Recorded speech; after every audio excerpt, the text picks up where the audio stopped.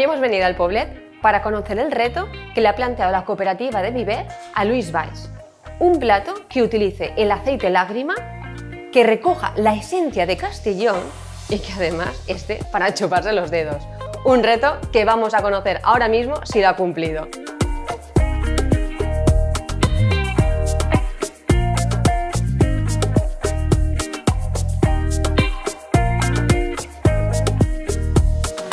Bueno, el Poblet eh, sufre, sufre o tiene unos cambios un poco por evolución. Al principio esto era una sede de platos históricos de Quique. La primera evolución que sufre es que la propuesta que se hace es una propuesta mixta, mixta de entre Quique y yo, y después acabamos haciendo nuestro propio camino, que es cuando llegan esas dos estrellas. Justo antes de que lleguen esas dos estrellas, estamos unos dos años ya elaborando nuestra, nuestra, forma de, de cocinar, nuestra filosofía, que es un poco cocinar el entorno plato que representa muy bien este, este arroz. Y bueno, y, vamos haciendo nuestro camino. Muy importante para mí todo lo que es, eh, aparte del territorio muy concreto, la albufera. Es una fuente de inspiración que para mí es... De niño he pasado muy buenos, muy buenos momentos en, en ella y bueno, nos dimos cuenta que era una parte a explotar dentro de, de la gastronomía valenciana y que tenía mucho peso y la verdad que estamos ahí trabajando en ello.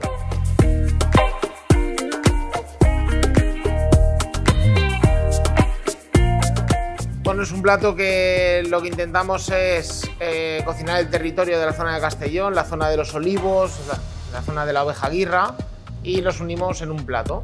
En este caso lo que hemos hecho ha sido hacer un, arroz con los huesos de la oveja guirra y luego vamos a aprovechar alguna de las partes, como es en este caso más concretas, de la molleja.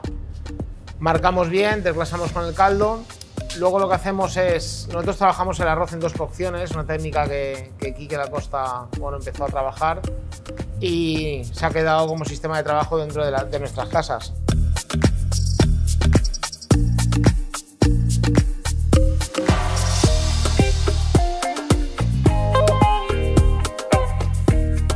Cuando tenemos el arroz, emulsionamos con el aceite de oliva lágrima.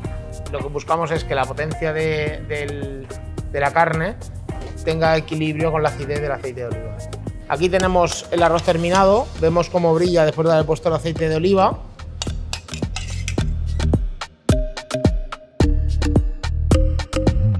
Ahora lo que voy a poner es un esférico de aceite de oliva. Ponemos unos gajos de aceituna verde.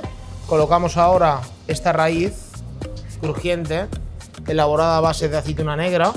Y por último vamos a poner el hinojo marino encurtido, que para mí me recuerda a ese brote del olivo cuando está brotando, ese brote pequeño que al principio sale, me recuerda mucho a ese momento.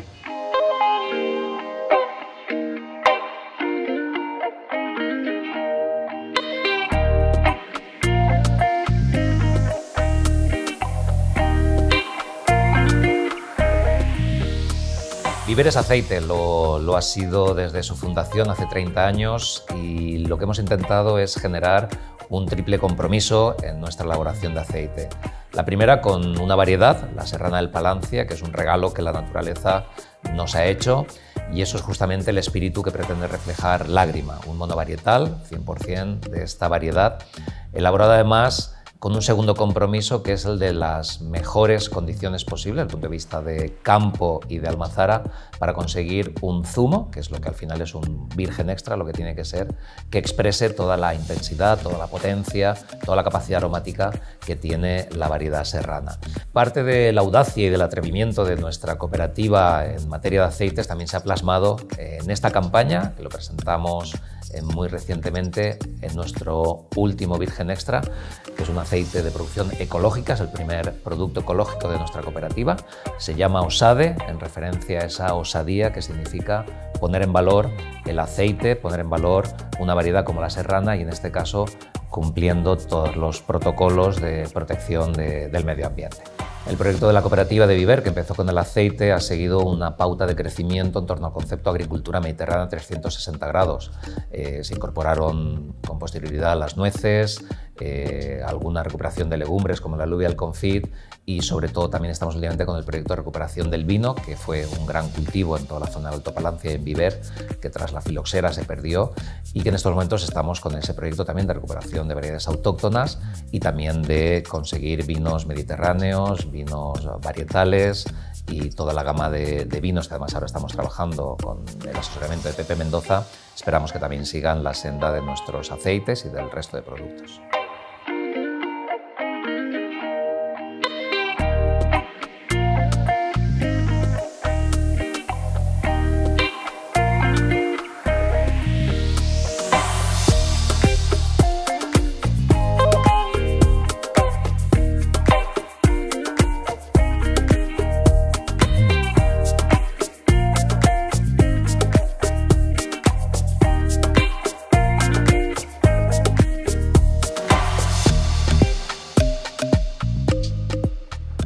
Bueno, Fernando, este es el arroz que, he preparado con el aceite lágrima. Eh, es un arroz que engloba todo lo que es el territorio donde se encuentran los, vuestros olivos, junto con la abeja guirra. Y nada, cuéntame, cuéntame tú alguna cosa más del aceite, que seguro que me falta información por saber. lo, primero decirte que es vamos, un, placer poder disfrutar de esa combinación de lo que tú dices, ¿no? plasmar el territorio en, en un plato, con esos elementos a, la ganadería, con el elemento del arroz, como gran producto valenciano, y en este caso pues como representante de, ese olivo valenciano, con lágrima y la variedad serrana del Palancia, que sabes que es eso, nuestro monovarietal, es todo ese esfuerzo de poder expresar con toda la sutileza posible una variedad que es autóctona, muy aromático, pero después muy, muy noble, muy amable en boca, lo cual te da, creo yo, ese juego que os está dando pues, a, los cocineros, a toda la gastronomía valenciana que estáis, que estáis apostando ¿no? por un producto que intenta también ser ¿no? esa fragancia del territorio. Así que yo creo que toca nada, disfrutarlo pues a, ver, a, ver, qué te parece. y probar territorio. Pues la verdad es que simplemente ya visualmente, Luis, vamos, te da una sensación de estar en un campo de olivos que es fabulosa. ¿eh? Es el juego de texturas. Es un plato que, tiene textura, tiene crujiente, mm, mm. es cremoso. El aceite de oliva te, te, crea esa acidez que te limpia la potencia del caldo del arroz. Pero es esa armonía ¿no? que al final se, se consigue con, Yo lo pruebo todos los días, pero sentado aquí sabe diferente. y luego darle la visibilidad también, porque al final estamos muy acostumbrados a comer el, el pan con el aceite pero no hacemos un plato creativo inspirado en el aceite o en el olivo tan, tan profundo, ¿no? que represente desde una raíz, desde la aceituna que se queda olvidada en, el olivo, que suelen ser las, de arriba, ¿no? que se quedan ya secas, pues bueno, intentar darle importancia a cada parte del olivo, no solo ya al aceite, sino a todo lo que engloba. Además ese producto, ¿no? el, olivo, ¿no? con todo también su, tradición, con sus mitos, con toda esa representación, esa representación ¿no? de, realmente del Mediterráneo, ¿no? que es eh, uno de los grandes cultivos y, la verdad es que es, fabuloso ¿no? que, crucéis esa línea y, os animéis y os, y os atreváis ¿no? la, alta restauración a, estos juegos ¿no? con, con, los productos y con el territorio. Así que enhorabuena. Una vez Muchísimas gracias. Enhorabuena a vosotros también por el pedazo de aceite que tenéis. Seguiremos, seguiremos estando ahí, intentando estar a vuestra altura. Gracias.